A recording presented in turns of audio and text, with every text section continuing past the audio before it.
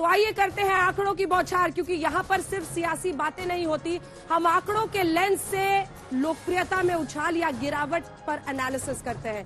तो सबसे पहले, तीन राज्यों के नतीजे क्या कह रहे हैं? आइए करते हैं शुरुआत। और सबसे पहले आपको दिखाते हैं पूर्वोत्तर में 2014 से लेकर अब तक राज्यों की स्थिति क्या हो रही है? एक्ट ईस्ट पॉलिसी जो प्रधानमंत्री नरेंद्र मोदी की है, क्या वो बीजेपी के लिए रंग ला रही है? तो सबसे पहला डेटा आप देख रहे हैं। कहा, एक राज्य से 2014 में बीजेपी की शुरुआत हुई थी। 2019 आते आते मामला कहाँ तक पहुँचा और अब 2023 में मामला कहाँ पर पहुँच रहा है, ये देखिए। 2023 आते आते अतुल लोंडे साहब भारतीय जनता पार्टी ने पूर्वोत्तर के राज्यों में अपना परचम लहरा दिया है। कहीं गठबंधन में, कहीं अपने दम पर। इन सब पर चर्चा करेंगे, लेकिन अब जल्दी से आपको नतीजे दिखा देते हैं कि सीटें कितनी आई हैं त्रिपुरा मेघालय और नागालैंड में बीजेपी की।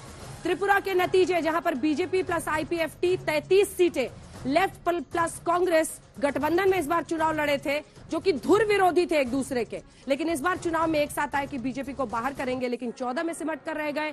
टीएमपी, टिपरा मोथा नए नवेले प्रोद्योत माणिक्य की पार्टी, जिसने ग्रेटर टिपरालैंड की मांग पर आदिवासी क्षेत्रों में खास तौर पर सफलता हासिल की और पहली ही बारी में तेरह सीटें वो ले आए हैं।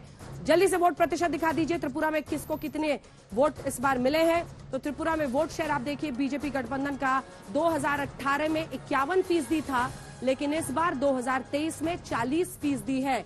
36 सीटें पिछली बार बीजेपी को अपने दम पर आई थी, इस बार सीटें भी घटी हैं वोट प्रतिशत भी घटा है, लेकिन इसकी बड़ी वजह है टिपरा मोथा, जिसने तेरह सीटें हासिल की है। लेफ़्ट कांग्रेस के गठबंधन को 42 फ़ीसदी पिछली बार आई थी, लेकिन इस बार लुढ़क कर पहुँच गए हैं 25 फ़ीसदी पर।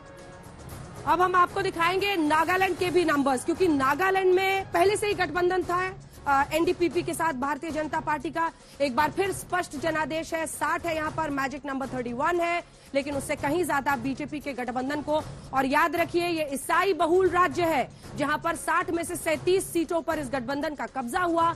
एनपीएफ के दो, कांग्रेस शून्य, अन्य 21 लेकिन याद रखिए, त्रिपुरा अगर एक बार फिर से हम आपको बताएँ तो पिछली बार ज़ीरो सीटें आई थी कांग्रेस को, इस बार गठबंधन में तीन सीटें आई हैं।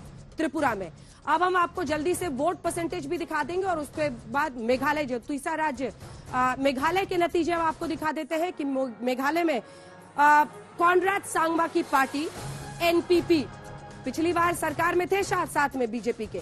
लेकिन इस बार चुनाव के एंड पहले एक दूसरे के साथ ढिशुम ढिशुम शुरू हुआ और कॉन्ड्रैट सांगमा अलग से गए। चुनाव में 26 सीटें उनकी आई हैं बीजेपी की तीन आई हैं, पिछली बार दो थी और वहीं कांग्रेस की पाँच सीटें यहाँ पर आई हैं। ये लुढ़के हैं 21 से। पिछली बार 21 सीटें कांग्रेस की आई थी मेघालय में। लेकिन इस बार वो लुढ़क कर पाँच पर पहुँच गए हैं और अन्य की सीटें आप देख रहे हैं, पाचिस। अब हम आपको रिपोर्ट कार्ड दिखा दे रहे हैं। मेघालय में कांग्रेस का रिपोर्ट कार्ड क्या कहता है? अट्ठारह में इक्कीस, तेईस में पाँच। अब अगला राज्य दिखाइए। वोट प्रतिशत जो घटा है, वो अट्ठाईस, साढ़े अट्ठाईस फ़ीसदी से तेरह फ़ीसदी पर कांग्रेस पार्टी का रह गया है। पूर्वोत्तर के राज्यों में एक वक्त पर कांग्रेस पार्टी का दबदबा चलता था। कांग्रेस का खाता नहीं खुला है नागालैंड में। नागालैंड का रिपोर्ट कार्ड है ये कांग्रेस पार्टी का।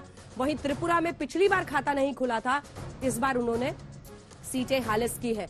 अब हम आपको जल्दी से तीन आंकड़े और दिखाने वाले हैं कि 2024 के पहले, क्योंकि कांग्रेस बार बार कह रही है, इसको एक्स्ट्रापुलेट करके आप मत पहुंचिए 24 पर। अभी तो बड़े बड़े राज्यों में चुनाव होने वाले हैं, जिसमें राजस्थान है, मध्य प्रदेश है, छत्तीसगढ़ है। इनमें से दो राज्यों में कांग्रेस का इस वक्त शासन है।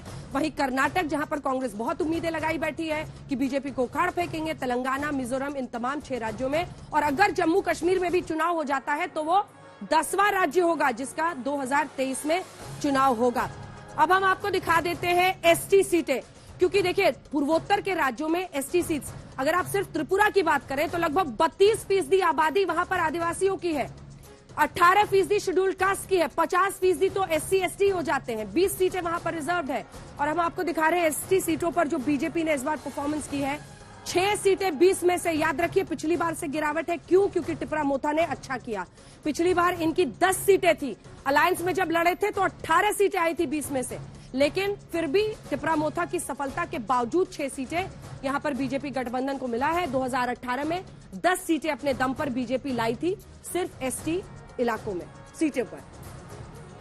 अब हम आपको मेघालय का दिखा रहे हैं, नागालैंड का भी एसटी सीट दिखा दे रहे हैं, जिसके बाद हम चर्चा की शुरुआत करेंगे, क्योंकि ये संकेत साफ़ है कि क्या जो शेड्यूल ट्राइब है, उनका विश्वास बीजेपी में हो रहा है। 2018 में मेघालय में शून्य सीटें आई थी और 2023 में भी शून्य सीटें आई हैं।